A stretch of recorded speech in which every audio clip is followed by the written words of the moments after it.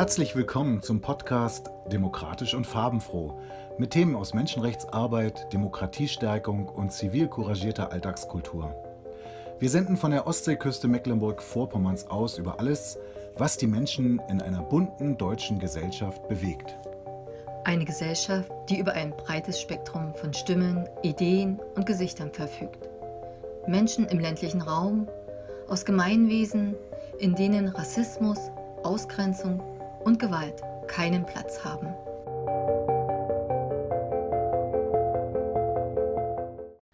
Unser Thema heute weit verbreitete Verschwörungsideologien und was man im demokratischen Alltag als kritischer Mensch dagegen tun kann. Das Thema ist hochkomplex. Wir geben ihm deshalb folgende Strukturierung. Zunächst gibt es erstens eine sachlich-inhaltliche Hinführung, die einen Prolog sowie einen Einführungstext umfasst. Hernach kommen wir, zweitens, auf entscheidende Merkmale von Verschwörungsnarrativen zu sprechen. Es folgt logisch, drittens, ein Rekurs auf Geschichte und Verbreitung von, wenn man so will, beliebten Verschwörungsmythen. Einige Beispiele werden wir anführen. So exemplarisch etwa die sogenannten Protokolle der Weisen von Zion, die Konstrukte von Reichsbürgerinnen, ein knapper Fokus auf Geheimorganisationen, die New World Order oder den Deep State, auch der Zwangsimpfungsmythos und die sektiererischen Tendenzen des QAnon-Kults werden thematisiert. In einem vierten Komplex möchten wir prägende psychologische Aspekte von Verschwörungsideologien darstellen und dekonstruieren. Ein fünfter Punkt der Auseinandersetzung hebt auf die Radikalisierungsgefahr ab, die durch die vorgetragene Hysterie von lautstark auftretenden Minderheitengruppen zunehmend latent wird. Und schlussendlich widmen wir uns sechstens den probaten Gegenstrategien im Alltag. Also wie wir alle ressourcenorientiert und wirksam mit Verschwörungserzählungen und ihren Eiferern umgehen können. Hierzu werden wir den Demokratieberater Michael Stark vom Demokratiezentrum Westmecklenburg der RAA interviewen. Wir wünschen Ihnen ein erkenntnisreiches Hörerlebnis mit unserem Podcast. Auch wenn es sich um ein Thema handelt, das viele Ecken und Kanten sowie Fallstricke in sich birgt. Prolog Schwerin Ein als Supermann verkleideter Antihygieniker springt über die Bühne einer Querdenker-Demo in der Landeshauptstadt Mecklenburg-Vorpommerns. Es ist kalt, mitten in der Nacht. Die Atmosphäre knistert. Hunderte Menschen stehen im Dunkeln. Sie sind gespannt, voller Erwartung. Heute Abend treffen sie einen Querdenker Messias, Bodo Schiffmann. Die Corona-Pandemie hat zu diesem Zeitpunkt die Welt im Würgegriff. Weit mehr als 2,5 Millionen Menschen werden aller Voraussicht nach bis Ende 2021 mit und an dem Virus sterben, bevor Impfmaßnahmen global greifen. Und solange die Pandemie nicht noch zusätzlich an exponentieller Wachstumsdynamik gewinnt. Die Antihygienikerinnen in MV sind teilweise aus allen Ecken Deutschlands angereist. Sie tragen keine Masken, halten kein Abstandsgebot ein, sie husten und niesen, provozieren Journalistinnen an und werden rasch aggressiv, wenn sie mit kritischen Nachfragen konfrontiert werden.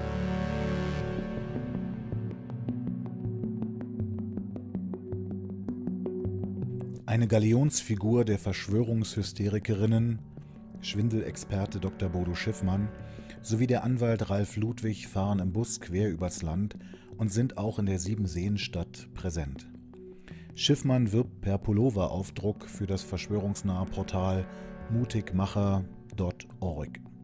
Eine Plattform, wo etwa der tendenziöse Kinderarzt Eugen Janssen die Angst von Eltern vor dem Kindstod durch das Tragen von Masken schürt. Gefährliche Aussagen und konstruierte Meme der Szene, die sich wissenschaftlich nicht belegen lassen. Querdenkerarzt Schiffmann predigt auf Social-Media-Kanälen davon, die Wahrheit jenseits der sogenannten Mainstream-Medien zu suchen. Er erkennt die Covid-19-Pandemie in ihrer Gefahr für die Menschen nicht an und steckt die Schutzmaßnahmen der Regierung für die Bevölkerung in die Schublade für, Zitat, Menschheitsverbrechen. In Schwerin indes spricht Schiffmann von Frieden, Freiheit und Demokratie. Er ist eloquent. Er weiß, wie weit er gehen kann. Ihm ist bewusst, welchen charismatischen Einfluss er auf die Menschen ausübt. Er kennt die Grenzen des Sagbaren, welche die artikulierte Meinungsfreiheit wahren muss, damit sie die Einzelnormen des Strafgesetzbuch 130 Volksverhetzung und Störung des öffentlichen Friedens nicht tangiert.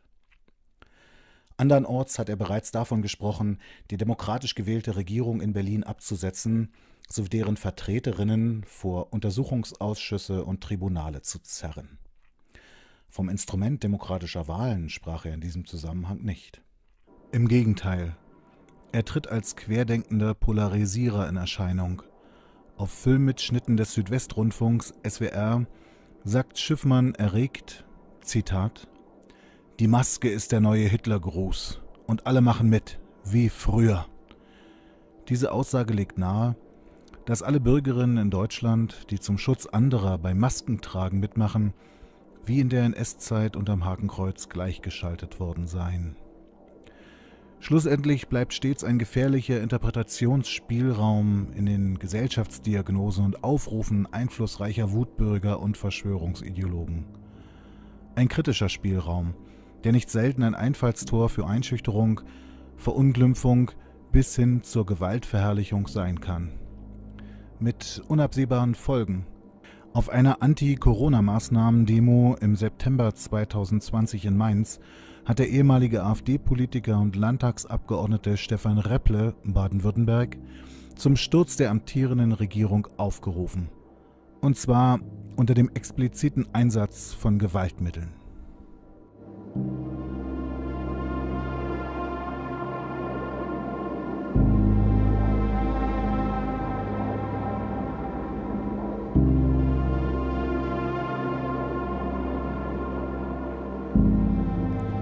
So bleibt stets ein gefährlicher Interpretationsspielraum in den Gesellschaftsdiagnosen und Aufrufen einflussreicher Wutbürger und Verschwörungsideologen.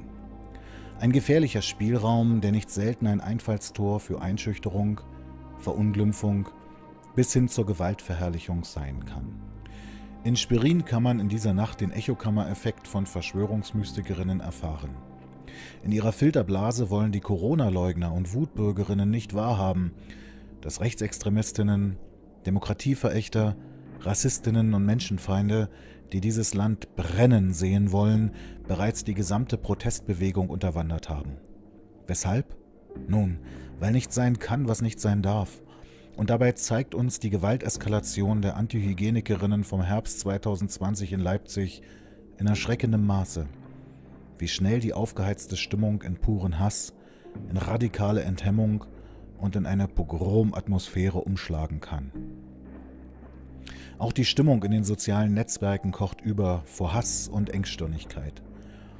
Dies reicht von der stets etwas grummeligen deutschen Kartoffeligkeit und Besserwisserei bis hin zu den Terrorchats der rechtsextremen Gruppe S. Zwölf enthemmte Männer, die über Anschlagspläne und Massaker an Andersdenkenden nach dem Beispiel eines Brandon Tarrant im neuseeländischen Christchurch schwadronieren. Auch sie ließen sich darüber aus, dass die parlamentarische Demokratie weg muss. Sie implizierten dabei bürgerkriegsähnliche Zustände in Deutschland, aber auch darauf, Mordanschläge auf Politikerinnen zu verüben.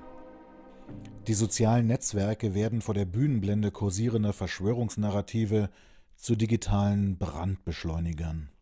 Schlechte Nachrichten Tabubrüche und aus der Hüfte geschossene Lügen bringen Klicks, Likes und Aufmerksamkeit. Realität und Plausibilität sind in aller Regel komplexer, als dass man diese in 280 Twitter-Unicode-Zeichen plus diversen Hashtags unterbringen könnte. Zudem stören zu viele Worte den bunten Bilderwasserfall des Instagram-Feeds. Die Realität ist selten so unbeschwert einfach, wie sie sich in einem TikTok-Video darstellt. Die Welt des 21. Jahrhunderts zappelt in jeder Sekunde und ist doch bewegungsunfähig eingekeilt zwischen Kalenderweisheiten, Cat-Content, Food-Porn, Pointen und Parolen. Sektenhafte Realitätsverweigerinnen, Populisten und Rechtsextremistinnen gehen daran, unter Einsatz massiver Propaganda, die von latenter Demokratieverachtung bis hin zum Fanatismus reicht, den freiheitlichen Rechtsstaat zu unterwandern und die Öffentlichkeit zu manipulieren. Sie legen die Axt an die Wurzeln demokratischer Grundwerte und bestücken ihre digitalen Katapulte mit Drohungen, Hate Speech und Bullying gegen all jene, die nicht ihrer Meinung sind.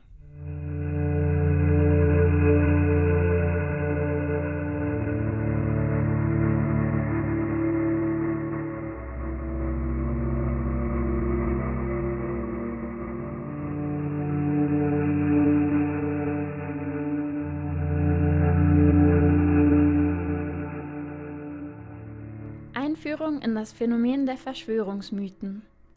Früher dachten wir, die Erde sei eine Scheibe.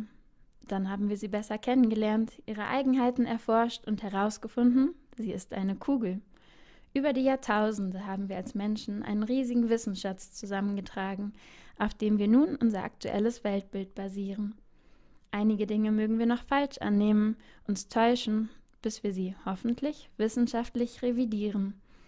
Was jedoch noch immer bleibt, sind Ecken und Kanten, die wir nicht verstehen, für die wir noch keine Erklärung haben.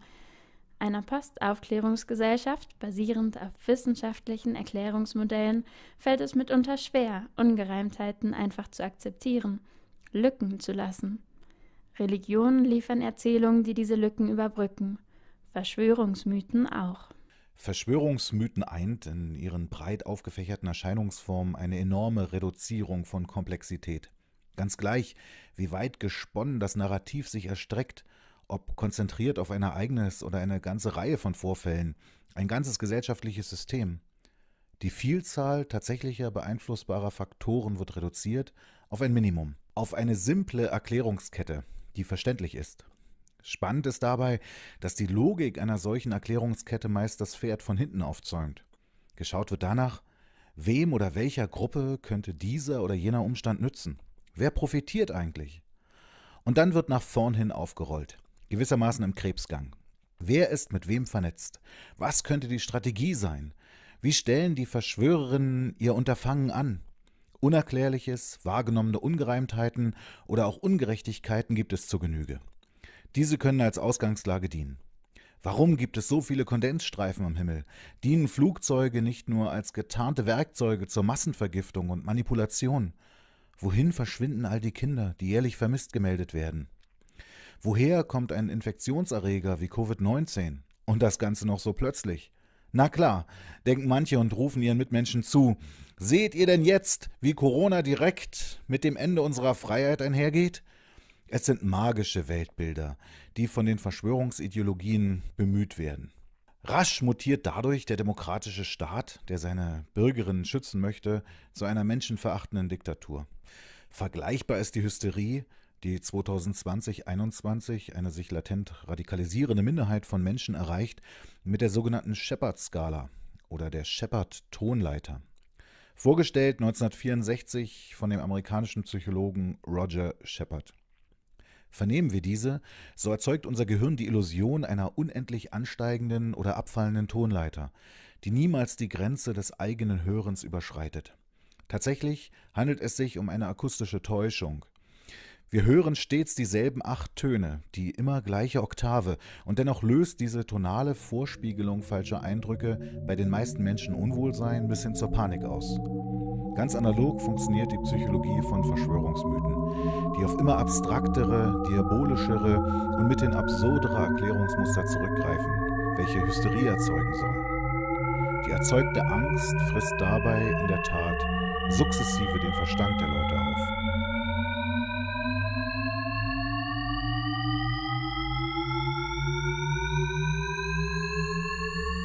Eine andere kategorische Einteilung ist die zwischen Gut und Böse. Gut sind wir, böse die anderen. Bedroht wird das Gute und es gilt es zu schützen. Nicht nur ist dies eine sehr simple Einteilung ohne Abstufungen, sie wird auch schnell gefährlich, wenn aus genanntem Schutzimpuls Aktionen werden. Bei den Corona-Leugnerinnen, die sich in den letzten Monaten in Reaktion auf Schutzmaßnahmen der in unserem Falle deutschen Regierung immer lauter öffentlich präsentiert haben, zeigt sich, wie schnell eine Radikalisierung von Verschwörungsideologinnen vonstatten gehen kann. Sehnt sich QAnon-Anhänger Attila Hildmann vor kurzem noch in einem beiläufigen Kommentar nach ruhigem Schlaf, falls das Robert-Koch-Institut einmal, Zitat, abbrennen sollte, so verging nicht viel Zeit und ein Brandanschlag auf das Institut wurde tatsächlich verübt. Keine Person kam zu Schaden, und doch ist dies ein Alarm, die Radikalisierung von Corona-LeugnerInnen ernst zu nehmen. Bei einer Verschwörungserzählung passiert nichts durch Zufall. So zitieren wir Alfred Germ von der Universität Greifswald. Es gibt immer eine Kausalkette. Alles ist mit allem verbunden. Es gibt immer ein Freund- und Feindschema und ein in sich geschlossenes Weltbild, das oft Teil von apokalyptischen Vorstellungen ist. Verschwörungsgläubige inszenieren sich als Aufdecker. Verschwörungserzählungen sind oft auch Ausdruck von Kritik am herrschenden System. Indes, woher rührt das? Wissenschaftler Germ hierzu in einem Zeitungsinterview Zitat Die neoliberale globale Kapitalismuslogik hat viele Verlierer produziert. In Verschwörungserzählungen finden sie eine gewisse Form von Selbstbestätigung. Ein Verschwörungsgläubiger kann sich immer entlasten. Es gibt stets jemanden, der die Ursache für die eigene missliche Lage darstellt. Nach dem Prinzip clandestine Kräfte sind verantwortlich für Situation XY.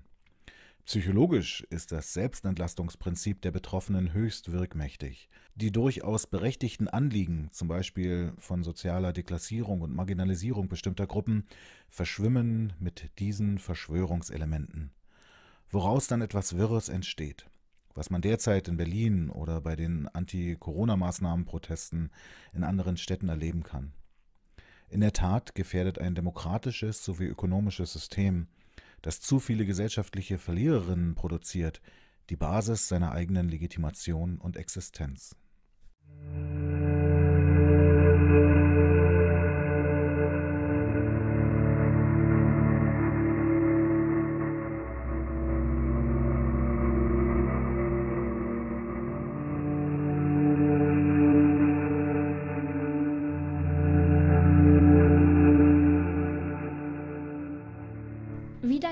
Wiederkehrende Deutungsmuster und Merkmale von Verschwörungserzählungen.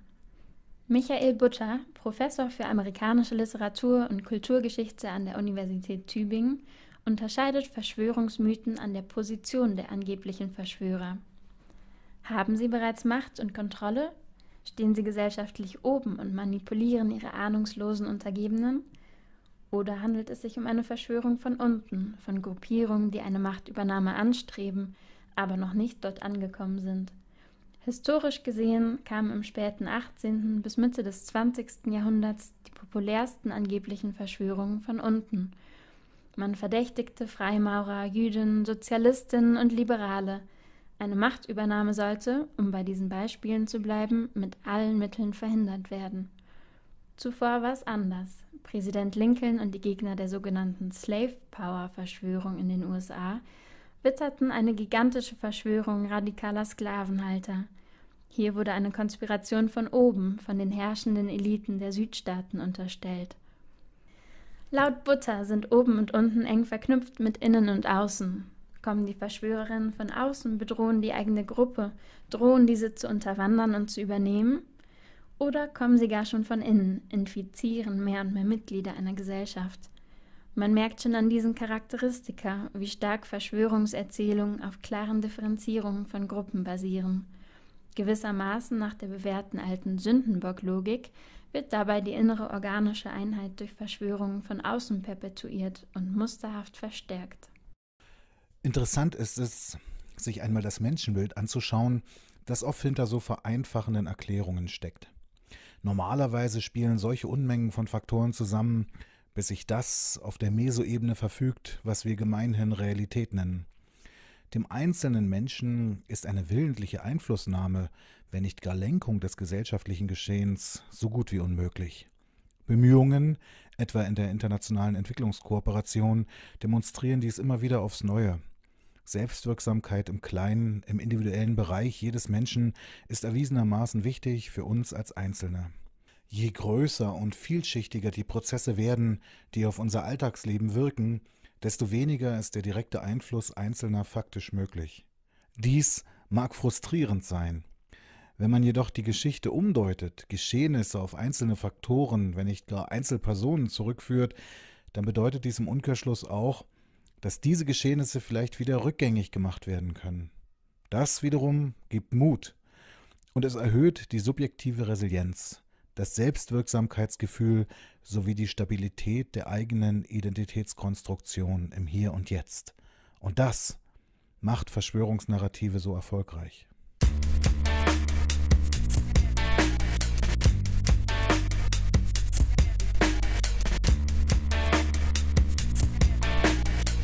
Drittens. Historische Beispiele. Im Folgenden wollen wir von sieben populären Verschwörungsideologien erzählen. 3a. Wir beginnen mit den sogenannten Protokollen der Weisen von Zion, einer der verhängnisvollsten und erwiesenermaßen frei erfundenen Verschwörungserzählungen. Behauptet wird dort, das Schriftstück Die Protokolle der Weisen von Zion würde die Rede eines Rabbiners wiedergeben, der auf einem geheimen Treffen des in Anführungszeichen internationalen Judentums über Fortschritte auf dem Weg zur imaginären Weltherrschaft informiert. Dieses Schriftstück gibt es tatsächlich. Es ist ein hochmanipulatives, gefälschtes Machwerk, es beschreibt in grausamer Form die Methoden, mit denen eine sogenannte jüdische Weltherrschaft angestrebt werde. Allerdings entfaltet sich die Aufdeckung seines Ursprungs als ebenso makaber. Ganze Passagen der Protokolle wurden aus einem anderen Buch abgeschrieben und zusammengeführt, um Jüdinnen und Juden zu diskreditieren und eine Legitimation für ihre Verfolgung aufzubauen. Das Buch, auf dem dieses hassgetriebene Plagiat beruht, ist eine Satire des französischen Schriftstellers Maurice Joly aus dem Jahre 1864. Joly kritisiert in einem fiktiven Dialog zwischen Machiavelli und Montesquieu die französische Monarchie. Dafür saß er eine Zeit lang in Haft. Umstritten ist bis heute, wer die Protokolle zusammengeschrieben hat und wann. In der russischen Presse wurden sie 1902 zum ersten Mal nachweislich erwähnt, in Deutschland 1919. Zwei Jahre später deckte die Zeitung Times die Fälschung auf. Eine Ausgabe von Jolies Buch war gefunden worden, in welcher Passagen markiert waren, die mit dem Text der Protokolle identisch waren. Die kopierten Passagen jedoch wurden in den Protokollen in eine Geschichte eingebettet, deren Protagonisten nicht mehr Machiavelli oder Montesquieu waren, sondern das in Anführungszeichen internationale Judentum. Die beschriebene Handlung sollte zu allem Überfluss des Nachts auf einem Friedhof spielen. Es geht wohl kaum effektheischender. Es ist offensichtlich, dass das ursprüngliche Ziel dieser Geschichte eine Diskreditierung der jüdischen Menschen sein soll, die sich gegen den russischen Zaren stellten. Im Laufe der Geschichte wurden die Protokolle jedoch immer wieder für neue Zwecke zur Verfolgung jüdischer Mitbürgerinnen und übelster Pogrome verwendet. Dies im Besonderen auch, nachdem die Fälschung offengelegt war. Adolf Hitler und die nationalsozialistische Apparatur des Massenmordes an jüdischen Menschen griffen auf diesen Text zurück und instrumentalisierten diesen, um dergestalt ihre grausamen, menschenverachtenden Taten zu rechtfertigen. Es bleibt unbegreiflich, wie ein so offensichtlich gefälschtes Dokument über so lange Zeit und in solch großem Rahmen immer wieder als ernstzunehmendes Schriftstück gehandelt wurde. Niemand wird abstreiten können, dass es sich hier nicht um eine belanglose Verschwörungserzählung handelt, sondern dass grausame Taten auf Basis dieser in die Welt gesetzten Erzählung passierten. Noch heute wird das Dokument von Gruppierungen reproduziert und als bare Münze verstanden. Ein Beispiel dafür ist das rechtsextrem antisemitische Schlagwort ZOG aus dem Englischen für Zionist Occupied Government, welches eine jüdische Unterwanderung und geheime Beherrschung einiger Regierungen, vor allem aber der US-Regierung, annimmt. Die daraus resultierende Rhetorik ist höchst aggressiv und auf einen Kampf gegen alle jüdische Kultur ausgerichtet.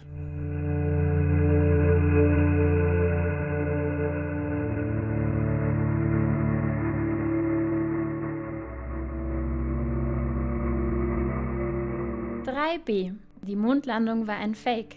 Schattierung des Deep State sowie die Funktion toxisch-aggressiver Scheinwahrheiten. Wir machen weiter mit einem echten Evergreen. Wurde die Mondlandung in Hollywood nachgestellt? Waren Buzz Aldrin, Michael Collins und Neil Armstrong niemals auf dem Erdtrabanten? Spätestens seit Peter Heims Thriller Unternehmen Capricorn aus dem Jahr 1978 wo tatsächlich dunkle Regierungsmächte die Überlegenheit der USA durch eine gefälschte Mondlandung gegenüber dem Ostblock wahren wollten, spuken die Bilder von springenden Schauspielerastronauten an Gummiseilen vor Blackscreens durch die Köpfe mancher Fantasten. Die Mondlandungsverschwörung zählt seit 1969 zu den Top Ten der Verschwörungsnarrative. Sie bringt auch alles mit, was das Conspiracy-Genre auszeichnet. Erstens eine klare gut-böse Dichotomie. Zweitens eine Heldenerzählung, die die sogenannten Wissenden von der Zitat Kulissenherde der ignoranten Schafe abhebt. Drittens eine mächtige Gruppe von Geheimdienstlern, den Vertreterinnen von Funktionseliten, Militärs und Beamten, auch Deep State genannt, die sich heimlich verbündet haben, um die Macht im jeweiligen Land zu übernehmen. Viertens überhaupt das Streben nach der Weltherrschaft, welches, ob kurz oder lang, stets mit dem Verdacht dunkler Machenschaften um Freimaurerzirkel, jüdische Geheimgruppen oder den Illuminatenorden assoziiert ist. Fünftens.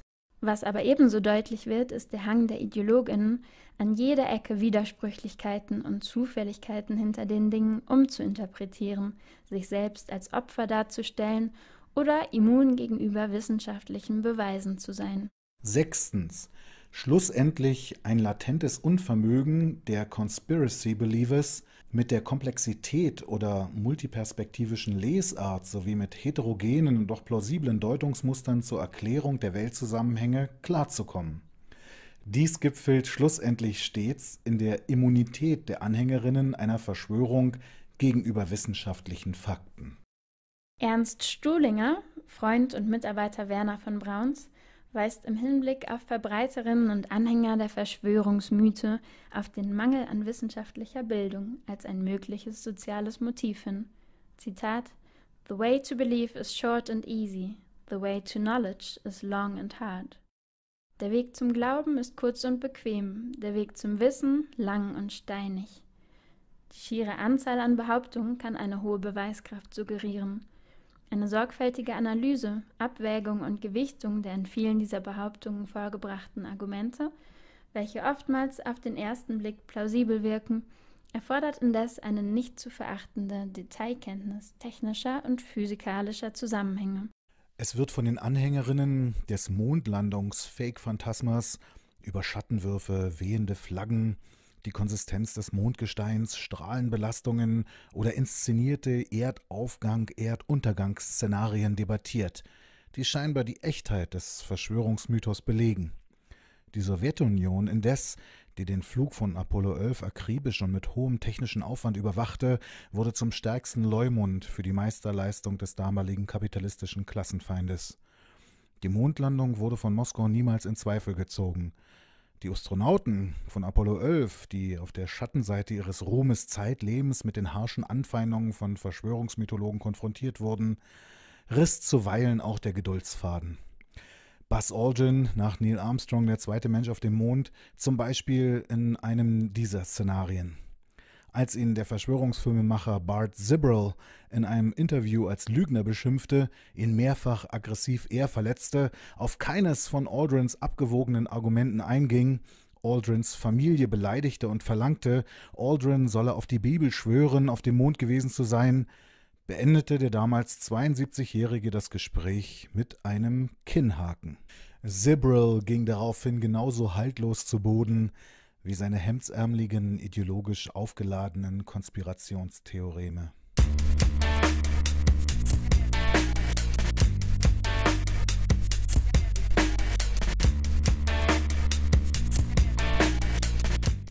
c Die CIA steckt hinter den Anschlägen vom 11. September 2001. Ähnliche Facetten eines einflussreichen Verschwörungsnarratives bieten die Geschehnisse um die Anschläge von 9-11. Der Vorwurf, Teile der Bush Junior Administration hätten den Befehl zur Sprengung der Türme des World Trade Centers selbst gegeben, um einen Anlass für den globalen Krieg gegen den Terror zu konstruieren. Das perfide verschwörungsideologische Narrativ verweist auch auf wesentliche Aspekte der Psychologie. Mythen kanalisieren den von vielen Zeitgenossinnen wahrgenommenen Kontrollverlust in der modernen, komplexen Welt. Affekte der eigenen Machtlosigkeit werden nicht etwa durch soziales Engagement sublimiert, sondern durch die narzisstische Erhöhung des Selbst kompensiert. Das kurzzeitig gute Gefühl, das eigene Ich unter den Wissenden zu wählen, übertüncht die offensichtlichen Widersprüche der Verschwörungserzählung. Die Süddeutsche Zeitung berichtet, dass bei aktuellen Umfragen, die von Forscherinnen der US-amerikanischen Universität von Maryland koordiniert wurden, Folgendes herauskam. Im internationalen Durchschnitt seien 15 Prozent der Befragten der Ansicht, dass die US-Regierung die Anschläge selbst veranlasst habe.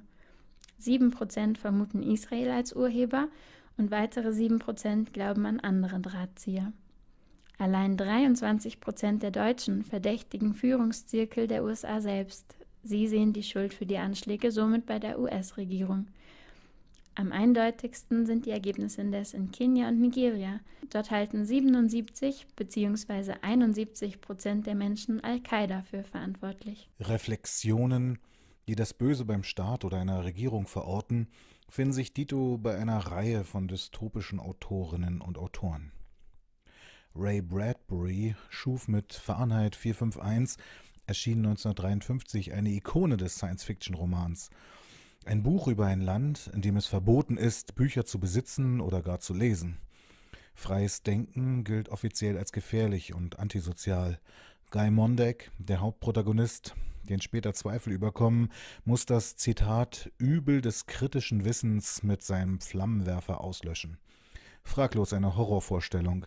Die politische Führung des Landes agiert offensichtlich autoritär, menschliche Bedürfnisse werden zur Herrschaftssicherung unterdrückt.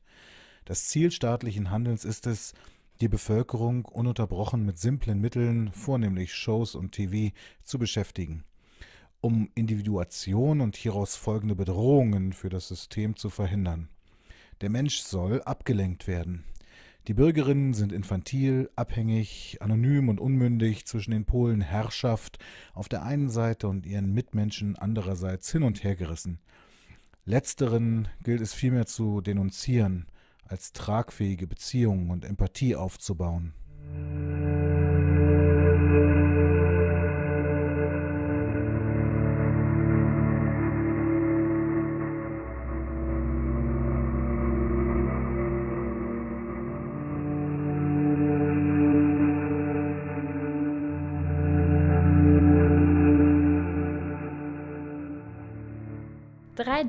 Reichsbürger im nächsten Beispiel behandeln wir das Phänomen der Reichsbürgerinnen in Deutschland. Die Reichsbürger erkennen die Bundesrepublik nicht als Staat an, sondern sehen sich weiterhin als Bürgerinnen des Deutschen Reichs. Die Logik, auf der diese Argumentation beruht, spaltet die Reichsbürgerinnen in eine Vielzahl verschiedener Gruppierungen. Deutschland ist noch immer besetzt, behauptet ein Teil. Darum würde weiterhin das Besatzungsrecht gelten. Eine Reihe von Verträgen jedoch regeln klar die Souveränität Deutschlands. Spätestens seit dem 2 plus 4 Vertrag aus dem Jahr 1990 ist die Vereinte Bundesrepublik Deutschland ein souveräner Staat. Auch auf das Grundgesetz wird sich bezogen, dieses sei vom Namen her schon keine Verfassung. Und doch ist es als Verfassung erstellt, als solche anerkannt und hebt somit ganz klar die Gültigkeit der Weimarer Verfassung auf. Einige Vorgaben für die Erarbeitung der Verfassung wurden von den Alliierten gegeben und sodann von Mitgliedern des Parlamentarischen Rates umgesetzt. Eine durchaus verständliche Vorgehensweise in Anbetracht des erst vier Jahre zurückliegenden Endes des Zweiten Weltkrieges und des von Deutschland verursachten Leids. Als Beweis schlechthin gilt ein im Handelsregister eingetragenes Unternehmen mit dem Namen Bundesrepublik Deutschland Finanzagentur GmbH. Hierbei handelt es sich um ein Unternehmen des Bundes, das als zentraler Dienstleister für die Kreditaufnahme zuständig ist. Reichsbürger sehen oft aber noch ein zweites Indiz, zum Beispiel in der Bezeichnung Personalausweis. Durch letzteren werde klar, dass Bürgerinnen der Bundesrepublik angestelltes Personal eben dieser Firma seien. Immer wieder haben Polizei und weitere Behörden ihre liebe Mühe im alltäglichen Auseinandersetzungen mit Bürgerinnen, die sich weigern, Steuern zu zahlen, sich auszuweisen, Bußgelder zu entrichten, sich schlicht an deutsche Gesetze zu halten. In Reichsbürgerkreisen sind Prepper und Selbstversorgungsambitionen hoch im Kurs und auch eine Verbindung zur rechten Szene ist stark ausgeprägt. Teile der Reichsbürgerideologien halten an nationalsozialistischen Führungspersonen des NS-Regimes fest und wünschen sich eine Fortführung der damaligen Zeit.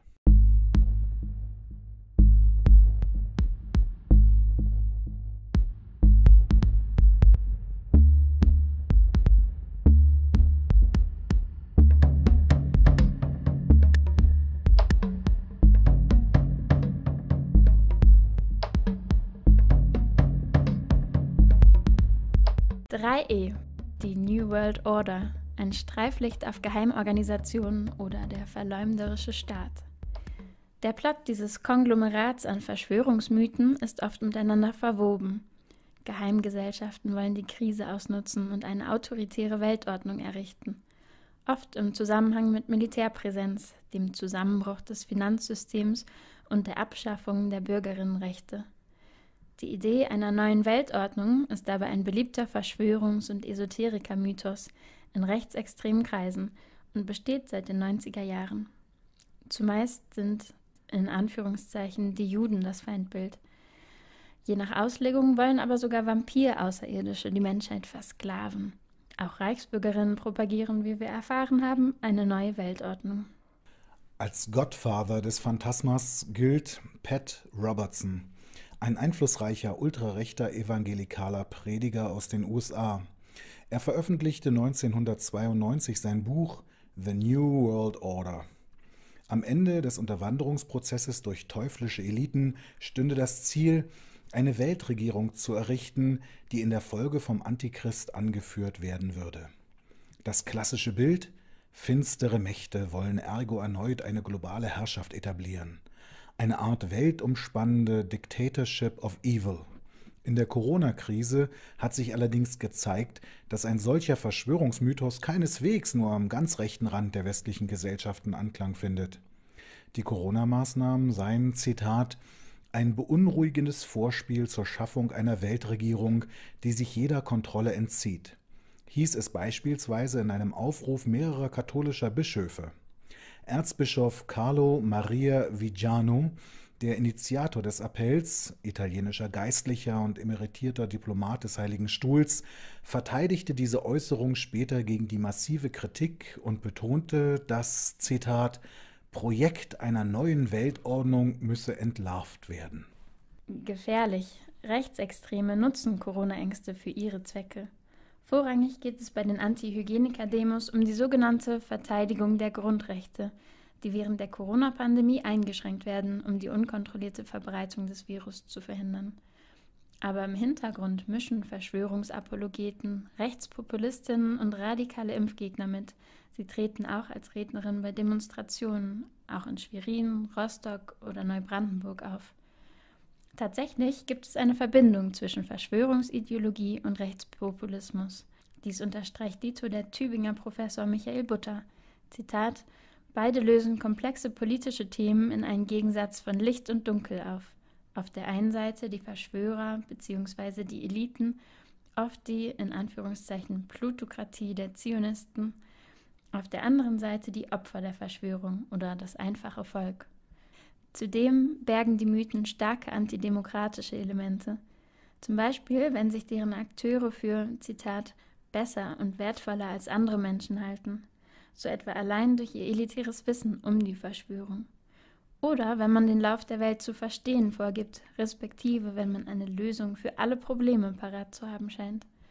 Das Wissen um die scheinbar eindeutig Schuldigen für die gesellschaftliche oder eigene Misere die die radikalen New World Order-Anhängerinnen ständig markieren oder in den Echokammern des Web 2.0 regelrecht brandmarken, ist dann oft lediglich eine Vorstufe zur Gewalt. In Zeiten von alternativen Fakten, Fake News und ständiger Überwachung sind die Werke von Aldous Huxley oder John Lanchester brandaktuell. So beispielsweise, wenn wir Geheimorganisationen wie die Rothschilds oder die Freimaurer vor Augen haben – die den angeblich autoritären, verleumderischen Staat kontrollieren. Die Welt der Desinformation und der systematischen Lüge, die zum Alltagsleben der Menschen gehören wie das tägliche Brot. Menschen, die sich bereitwillig aufgrund ihres strukturellen Sklavendaseins ins Joch gebeugt haben. Sind wir bereits in Huxleys schöner neuer Welt angekommen? Eine Welt, in der mittels physischer Manipulation der Embryonen und Föten sowie der anschließenden mentalen Indoktrinierung der Kleinkinder die Menschen gemäß den jeweiligen gesellschaftlichen Kasten geprägt werden? Kasten, denen sie angehören sollen und die von Alpha Plus für Führungspositionen bis hin zu Epsilon Minus für einfachste Tätigkeiten reichen? Allen Kasten gemein ist die Konditionierung auf eine permanente Befriedigung durch Konsum, Sex und die Droge Soma, die den Mitgliedern dieser Gesellschaft das Bedürfnis zum kritischen Denken und Hinterfragen ihrer bestehenden Weltordnung nimmt. Die Regierung jener Welt bilden Kontrolleure, Alpha-Plus-Menschen, die von der Bevölkerung wie Idole verehrt werden. Oder kapitulieren die Regierungen vor den Herausforderungen der Welt? Migration, Covid-19, Klimawandel, Brexit, wie es jüngst John Lanchester in Die Mauer, dem Roman der Stunde, beschrieb. In einem fiktionalen Großbritannien gilt das Gesetz des Stärkeren. Das Land ist von einer hohen Mauer umgeben, die von den Bewohnern um jeden Preis gegen Eindringlinge verteidigt wird. Wachsende politische Differenzen, die Kluft zwischen Reich und Arm, Gewinnerinnen und Verlierern und die immer größer werdende Angst in der Bevölkerung vor einer unbeherrschbaren Zukunft befördern den autoritären Staat, lässt diesen zu einem Kraken werden, dessen Tentakel in jedes Küchenfenster, ja bis in unsere Betten kriechen. Die Erkenntnis? Es ist vor allem die Mauer in unseren Köpfen, unser Mangel an Empathie, der zur größten Gefahr für das freie Leben wird. Ein Faktum, das unsere Seelen verwandelt, die zentrale dystopische Tatsache inmitten von Wind, Himmel, Meer, Stahl, Beton und Kälte, die uns umgeben. Die anderen, gegen die die Welt des Wirs in Verschwörungsnarrativen verteidigt wird, erinnern uns an das Mitgefühl und die Solidarität, von denen wir uns selbst zu sehr entfremdet haben. Die anderen, das ist die Humanität, die wir endgültig zu verlieren drohen.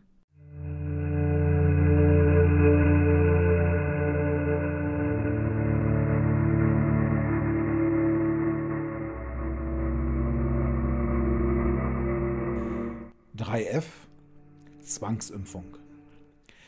Durch die Corona-Pandemie erhalten Debatten um Impfungen noch einmal großen Aufwind. Ganz besonders die Idee einer Impfpflicht, eines Impfzwangs wird heiß debattiert und fügt sich ein in Verschwörungserzählungen.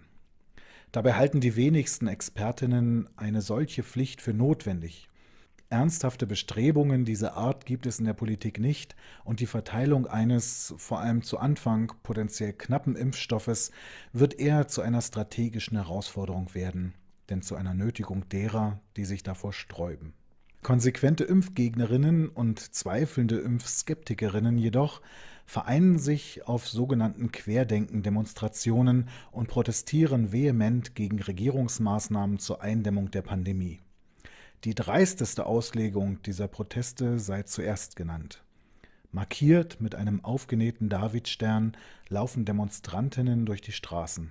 Beschriftet ist der Stern mit der Aufschrift Nicht geimpft.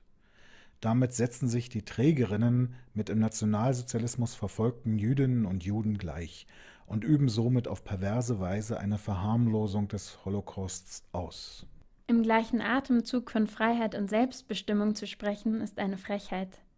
Nicht einmal für die weitaus ansteckendere Maserninfektion gibt es in Deutschland eine Impfpflicht, sondern lediglich eine Nachweispflicht für den Kitaplatz. Die eingeführten Maßnahmen der Regierung werden gleichgesetzt mit einem drohenden Impfzwang.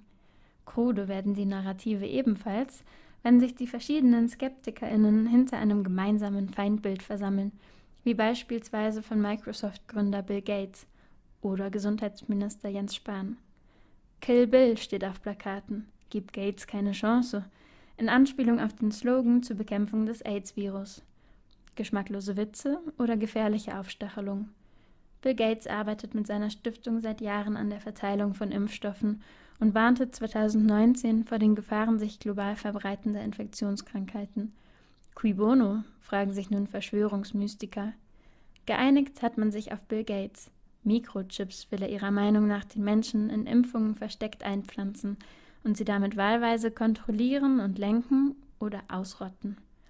Ein aus dem Kontext gerissener Kommentar Gates zum Anstieg der Weltbevölkerung befeuert dieses Narrativ. Ein Feindbild ist gefunden.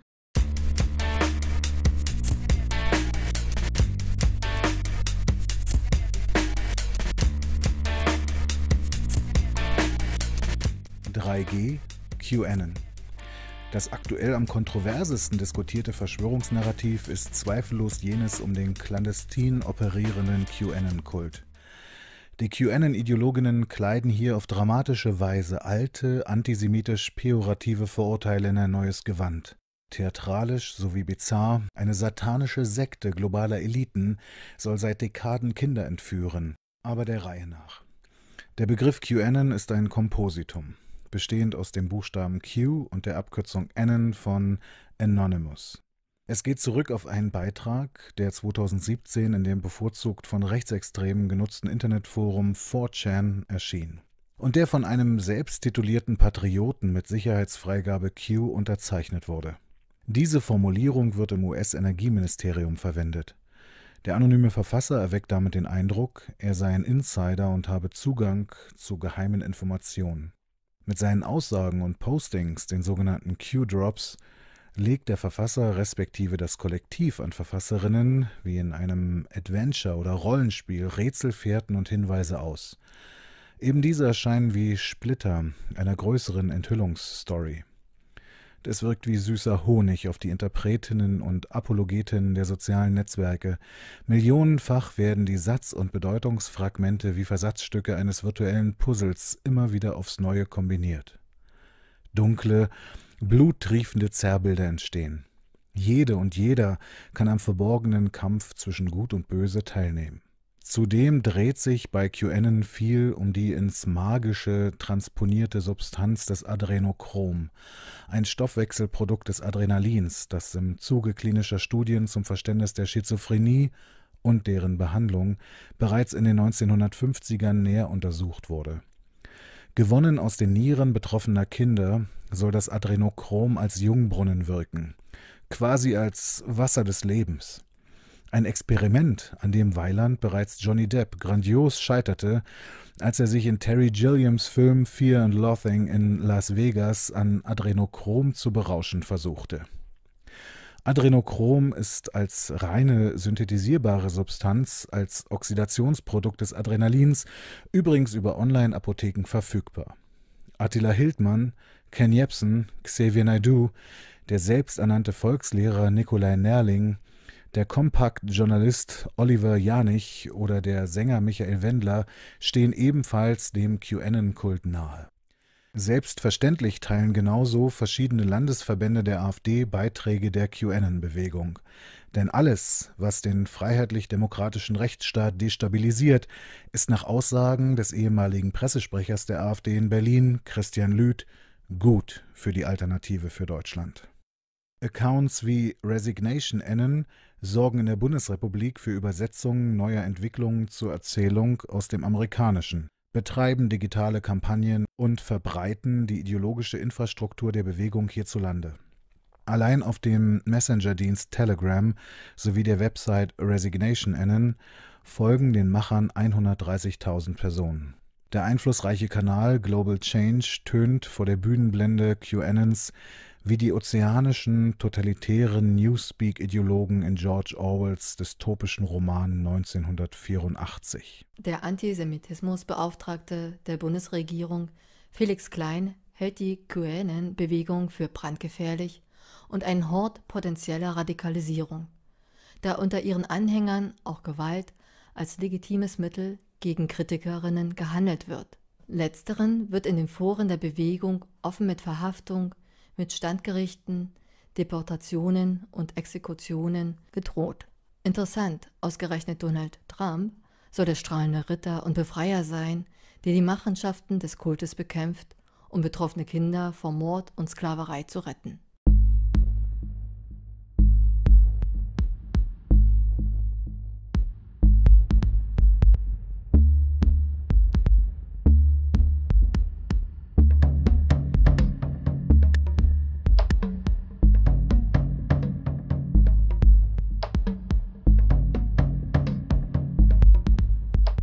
Wir befinden uns am Ende des ersten Teils unseres Podcasts zu Verschwörungsideologien.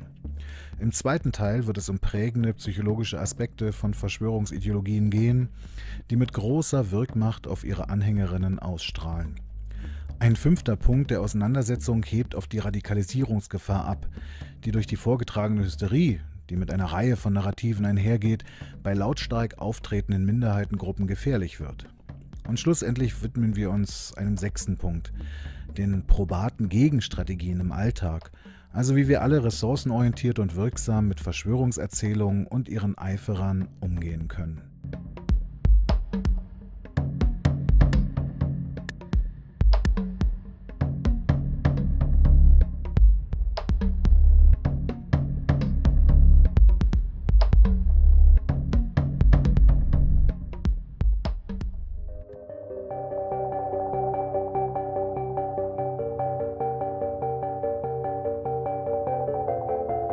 Das war der Podcast Demokratisch und farbenfroh. Wir sind der Überzeugung, dass wechselseitiger Respekt, Mitbestimmung, Solidarität, Selbstwirksamkeit, Fairness und Empathie nicht lediglich Schlagworte für Sonntagsreden sind. Im Gegenteil, aus diesen Begriffen wachsen die kreativen Impulse und verantwortungsvollen Handlungen, die unser Leben in Gemeinschaft erst gelingen lassen. Wir freuen uns über den Daumen nach oben und einen Klick auf den Abo-Button. Danke. Bleibt fair und aufgeschlossen. Zu und füreinander.